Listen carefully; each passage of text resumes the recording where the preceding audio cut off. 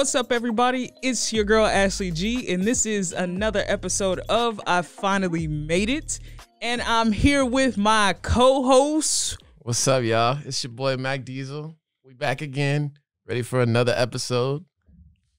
As usual, we're here again to tell you guys about all the things that we so love about this institution, Texas Southern University. Absolutely. Absolutely.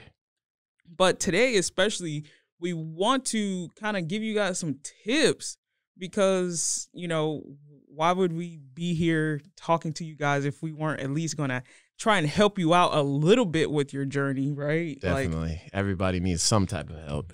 Yeah, it's like we, we're doing this. I finally made it, but we're not gonna tell you how we made it. Right, right, right. right. Absolutely. exactly. It, it just seems a little backwards. Yeah.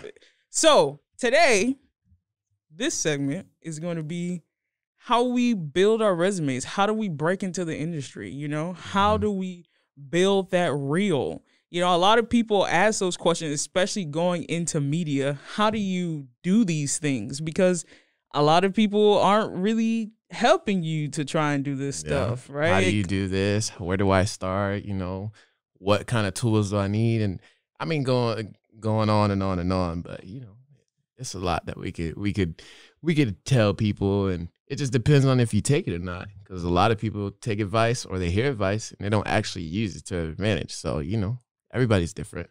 Yeah, yeah, that's true. That's true. But I hope you guys are watching this and and take the advice because I'm I'm gonna tell you we're gonna tell you some some good stuff. I promise. So Absolutely. stay locked in for sure. Absolutely. Um, for me, I think one of the biggest things and one thing that I figured out since applying to jobs and trying to break into the industry is I've been noticing that a lot of people just want you to have a whole lot of experience. Um, like that's like the surefire way to get a job is to just have experience. But as we all know, that's a little bit hard to come by. And yes. so, right, it's a lot easier said than done. Yes. Just get a whole lot of experience because just work a bunch of jobs. It's not that easy. Like okay. I I know from personal experience it's not that easy. Applying for internships, trying to convince people that yeah, I don't have a lot of skills, but uh, just let me come in and learn. You know, a lot of I don't know what it is, but a lot of people they not if, really if, into that. If I could give it an example, I think it's kind of like, you know, when you apply for a scholarship for school, or you know, just something big that you're trying to apply for. When you apply for an internship, it's like, oh well, you know, you have to meet this requirement, this requirement. You got to have worked you know, in the, in a specific spot for a couple years, this and that, and it's just like, uh, you know, I didn't really do that, but I mean, I'm hoping that I can get some type of credibility for what I do have. And a lot of places don't take just the bare minimum. They want you to have like sometimes like top notch stuff. And it's just like, well, you know, I wasn't fortunate enough to get that or right. be in that yeah, position. Yeah, so. yeah. This is what I'll say to that though. When there aren't a tremendous amount of opportunities put in front of you. And that's happened to me and to a lot of other HBCU students where it's just not as many opportunities. Mm-hmm. Well, it feels like that. You don't know is you don't know about them. That's really what it is. Right. No one's coming to you and saying what where a lot of other places you know kind of have that where they're more they more facilitate you getting into internships. Here is really you got to kind of grind it out on your own. Right. But one of the things that you can do is try and take advantage of the things that they do have on campus and then try and do that as best as possible. Absolutely. So I agree with like that. try and grind grind out everything you can here, like, you know, on your campus or any anything local or with a mentor that you may have, someone that you know that's in the industry try and grind them down and and get in with them and have them uh have you do projects or right. do something or try and teach you or just shadowing um because you can put that on your resume and it makes like you can say that you've worked on you know such and such and such with mm-hmm. this company that your such said mentor worked for or you know or if you're working with uh and you're in college, you know, with your departments or whatever, you can put that you've done work for, you know, the School of Communications Right. or for KTSU2, whatever it may be. Um, and if you have a title that's even better, put that title on there. Or if it just says intern, intern makes it, if you're applying for internships, having intern stuff on your resume makes a difference because internships actually, some of them, not all of them, because there's some internships where they prefer you to just be fresh and not have any experience really. Yeah. But a lot of them, they want, like, if you have other internship experience, they feel that as a plus. Mm. So even if it's not a formal internship, you can put it on your resume where you have the title intern or production intern or, Yeah.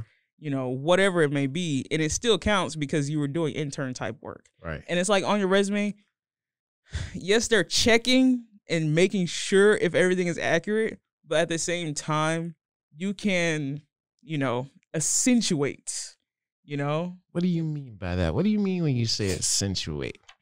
Well, obviously you've you've done certain things while you've been in college. Right. And like let's say you have produced a show or let's say you've shot it like you've edited a show up and put it on, you know, uh, a streaming or like on YouTube or Instagram or something like that. Right. You can always say like, you know, I've produced, shot, edited um and I've, you know, raised social media engagement, Right. you know, kind of just embellish, you know, cuz you did those things Right. Right. but it sounds fancy. you know? Absolutely, absolutely. That's gonna catch a, uh, uh, you know, the people that are running the internships. It's gonna really catch their eye because I'm like, oh well, you know, this person did this and this, and they also did this. So it's just kind of like gives you that upper hand, I guess you could say. Yeah, yeah, yeah. I mean, as far as my experience from, you know, I haven't, well, I'll take that back. I'm doing an internship with the school right now, which is in um, RTF. Hey, which, that's nice. uh, With Professor Val. And, um, you know, I'm doing a lot of different stuff. Like this, for example, is is one of them, the, you know, podcast show. And then um, having it on the radio. It's, um, it's definitely been a fun experience. Um, I know before when I first started looking for an internship, I didn't know what it was I was trying to do. I knew I wanted to be, you know, on on the radio or podcast. So, you know, just trying to look for that and, you know, talking to different in internship um companies.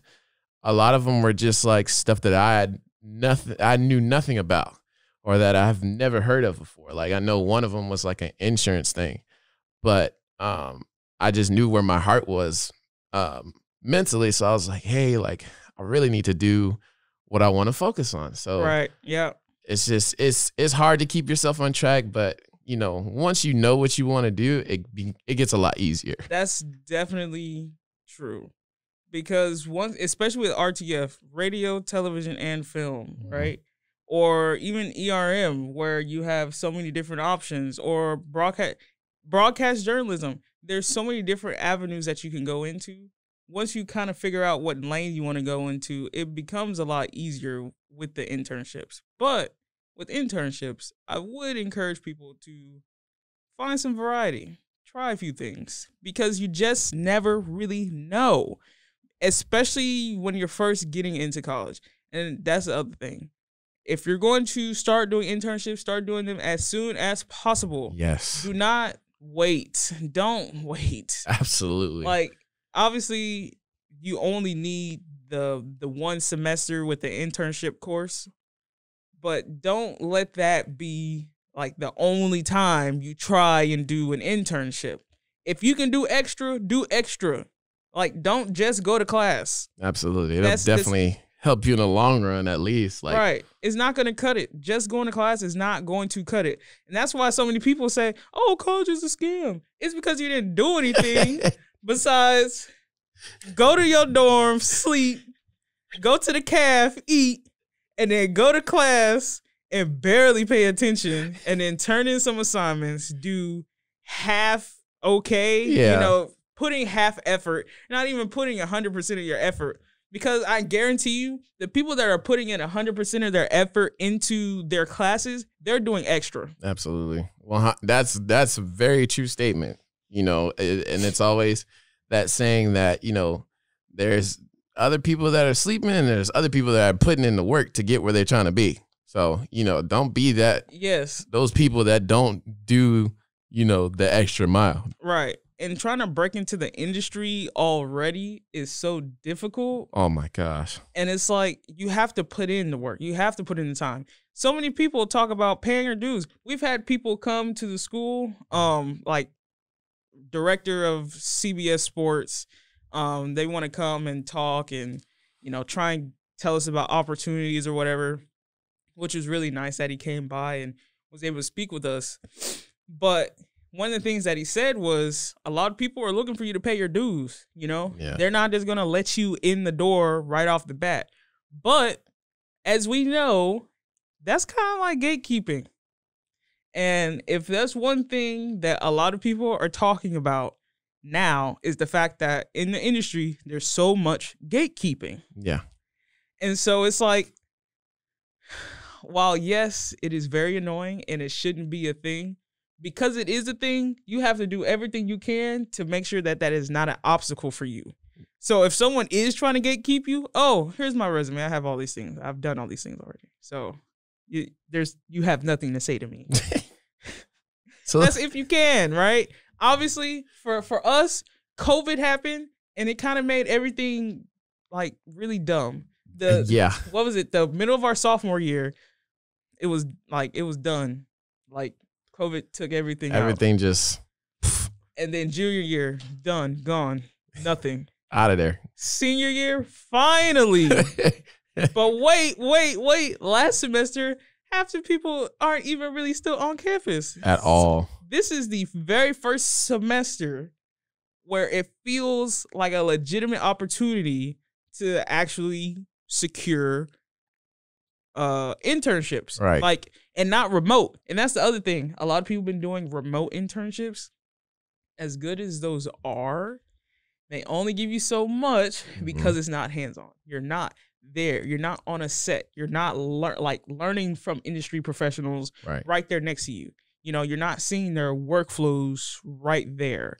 So, yes, there are some positives because you learn how to do all the online stuff and how a lot of people are doing stuff now, like video chats and video calls and being more comfortable with that. That is yeah. all good with, you know, remote learning and learning how to transfer files between, you know, hundreds of gigs of files between all these people, mm-hmm. but you know, you live on opposite sides of the the country, you know, that kind of thing. Right. So it's good for that. But when it comes to just getting those technical skills, I definitely say you want to if you can get in the door into like a studio or a TV station or uh, a set, a documentary set, a film set, right? Anything that you can do. If you're RTF major for sure, if you're a broadcast journalism major, do as many stories as you can. If you're a writer, write as many stories as you can. Like there's so many things that you can cover on campus that qualifies as experience. Like if you can write, if you're a good and even if you can't and you're trying to be better, all the more reason to write. Just do it. Right? Just, just try because you never know where it's going to lead if you don't try. If, if you're sitting there contemplating, oh, well, you know, I, I, I've seen this and I want to write like this, but I don't write like this.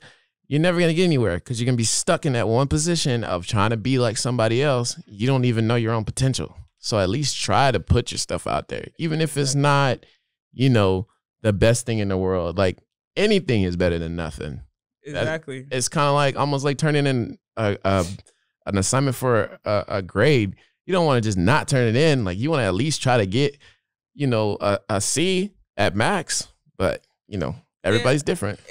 And you realize that the more you do it, the better you get at it. Right and you start being able to crank these things out and you start getting positive feedback and you're like wait a minute i might actually be good at this consistency that's all it it's, is. it's really honestly just consistency once you get in the habit of doing things then it just starts it just flows and people notice you know a lot of people they'll grind hmm and maybe it seems like they're not getting the shine that they want right off the bat. Right. But all I have to say is just keep going. Absolutely. Do not stop. Even if it goes past these four years and you graduate and still nothing pops for you, don't stop grinding. Especially if you're a writer or if you're like a journalist or you're trying to get in front of the camera, you have to go out and do it yourself. Right. Grab your camera. Even I don't care if you're not a good, if, even if you're not an RTF major, you need to know how to do some basic editing so you can edit up your own story Absolutely. because that's what they're looking for now, right? Uh, yeah. Self. I mean, as far as well, I mean, from my from my own experience, you know, kind of like jumping into photography, like you know, I've talked b- about before from transferring from what I was to here, and then learning everything again. I thought I was bad at photography. You know what I mean? Like I thought I was just terrible because I didn't really know what you know goes into it. When I was learning it before, they were just saying, "Oh, do this, do this." you know, take this picture, do it at this angle. And it's just like, okay, but where's the deeper part of this photography? Like, if with me, when it comes to photography, I'm trying to tell a story or I'm trying to show you something from my eye, like something that I've seen. Yeah. So when I when it comes to photo or when it came to photography for, for me, I was looking to learn it on a deeper level, try to get better at it, practice as much as I could. That way, when I start doing it more and more, it gets better. There's different edits. Um, you know, you get more exposure. Yeah. Um, you know, and not just in photography, for for music, for like radio, podcast, anything that you're into. When you do it consistently on a consistent basis and practice as much as you as you tell yourself to, you know, the the sky's the limit yeah. it's only gonna go up from Yeah. there. So Yeah. It's really about putting in the time, and that's for everything, whether it be multimedia journalism, photojournalism, uh, radio, television, movies, documentaries, absolutely, um, producing, sound engineering, whatever it may be. It doesn't matter. A and R. Uh, so many things. The list goes you on and you on. you have to practice. Uh, You yeah, have to put in the time. There is no way around it. No way around it. you can't. You can't even jump over it. You, you're not. It's not gonna happen. You got to do it regardless. No matter how much, you know, you get lazy and say, "Well, well, this and this." No, there's no excuse. Yeah, that saying of you get out what you put in, that's exactly how college is. Exactly. You get out what you put in. And the word "quit" doesn't exist. You can't. As soon as you quit and someone is passing you up, Yeah. no joke. That's that's one thing about this media industry is you have to stay on top of your game, on top of everything because honestly, uh everything's moving so fast um with the way the industry is going that you have to keep up. Absolutely. Especially with the way media is like this day and age, like technology is is getting crazier and crazier by the minute.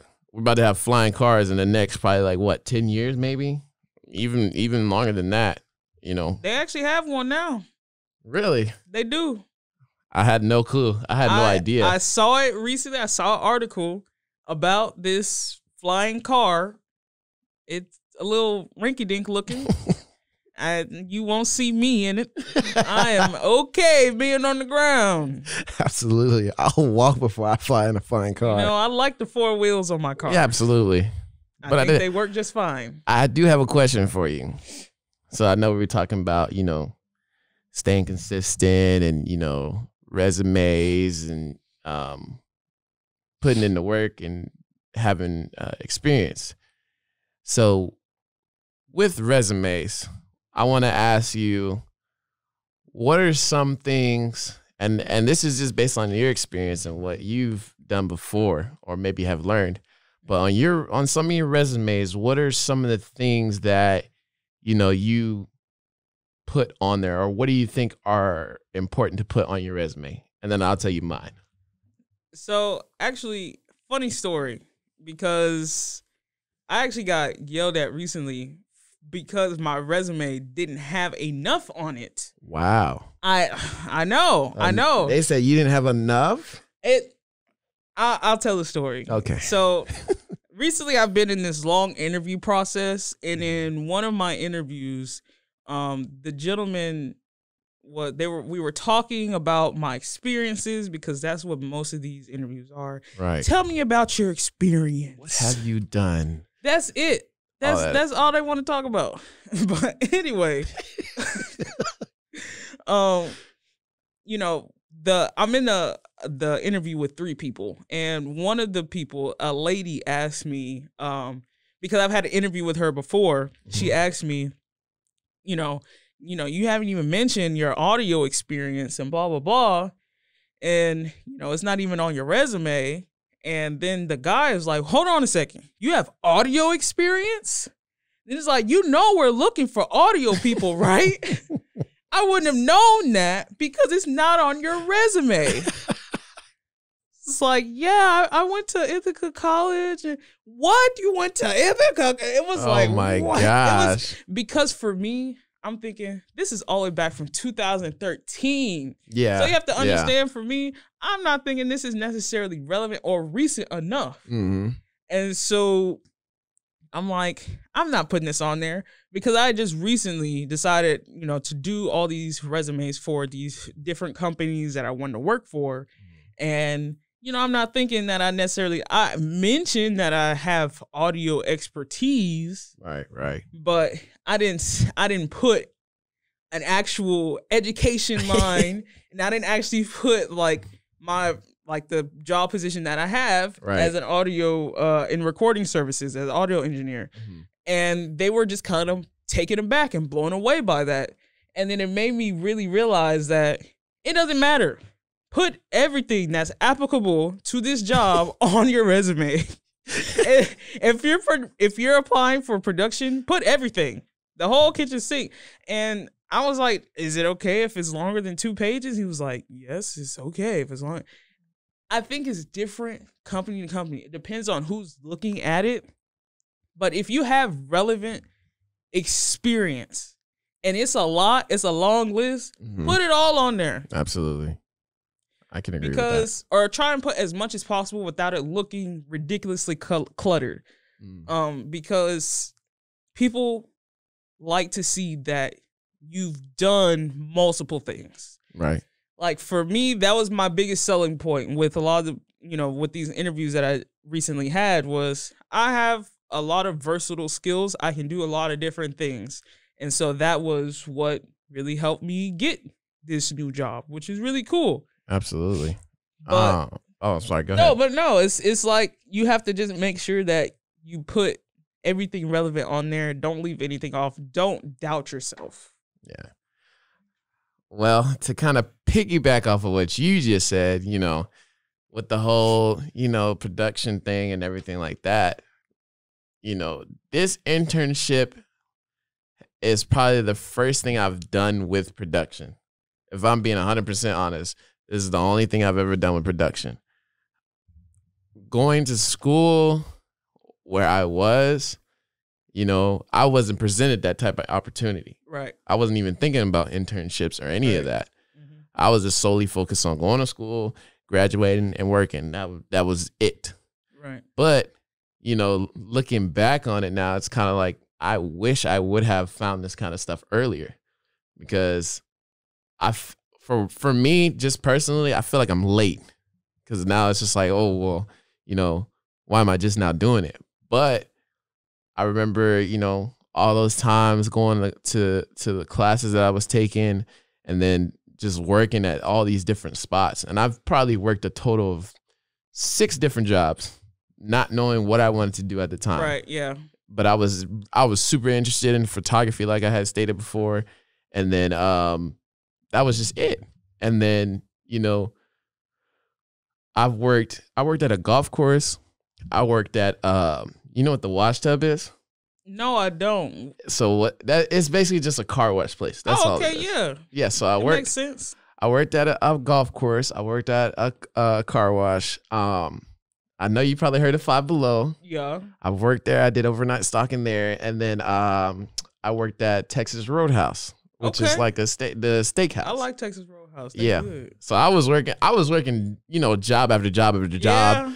not doing what I was passionate about. And the thing about photography is, it's so hard to get. You know, make it a business or make it like a job because you really have to be consistent in it and and you know just different i guess you could say because Yeah. there's so many different photographers out there With photography, I think it's all about your branding. that as well that is probably the hardest thing you know as far as photography what i've dealt with that was just super difficult branding you know um getting your name out there having you know your watermark and everything like that and it's just like golly like where where can i go from here but just to kind of like shorten it up a little bit i i agree with what you're saying um as far as experience if you're going for a specific job and you haven't worked in any type of you know in that field area i would say try now do it now Make it you happen on your own. absolutely With because the with phones and all different kind of things. Yeah. Go on YouTube. It literally tells you exactly how to do these things. And man, you say you worked all those jobs. You know, I've worked in a call center. I've worked at a movie theater. yeah I've worked at Home Depot. I've worked at HEB. I've worked at JC Penney. I've worked at so many different places in the last what 10 years now? Yeah. Seven, eight years now. Yeah. I'm not gonna say 10 years, but like, it's like since I've graduated from high school and I wasn't able to go to college for five years, all that time I was working whatever job. absolutely But I found Twitch, I found live streaming, and that I'm going to tell you that actually ended up helping me in the long run because it Such made me difference. stand out at one of my internships. Which, look, I'm gonna tell you, everything that you do matters. yeah, absolutely Everything it that you your do matters. Because when I, I'm telling you, man, I learned that live stream stuff and it helped me in my internship. It's crazy. Who would have thought? who would Who would have thought? Who would have thought? But that's that's how it goes. That's how resume building is, absolutely and that's, I guess that's that's This part is- of life, right? That's part of college. that's how it goes Is you kind of have to do these things. You have to Mhm. put in that extra work. Is is sucky as it is that you have to put in all this extra time right but that's part that's what makes college so difficult i think that's what makes it such a a long arduous process is because you have to put in more than what they advertise. And even even if it is a long process you know it all it all works out at the end. Like i i can't say you know for everybody but it it'll it'll work itself at the at, at the end so. Exactly. And i guess that brings us to the end of the show. Absolutely. Well guys you know what time it is. Um it's been great talking about resume building Yep. You know, you can follow us at KTSU underscore two, and you can follow me at Ashley G the Supreme. And where can they find my instagram i messed up last time it's captain underscore mac 46 not 23 but 46 Got it right this time. Yes, Got it right absolutely. this time. absolutely Make sure you guys follow us. You know this show drops Thursdays at five. Um, or at least we try and get it around five Yes. and on Thursday. I try my best. I'm a busy person, guys. very busy very busy very but that's gonna do it for us. We really appreciate you all for watching and listening. Uh, that's gonna do it for us on episode three of I Finally Made It on KTSU two, The Voice. peace y'all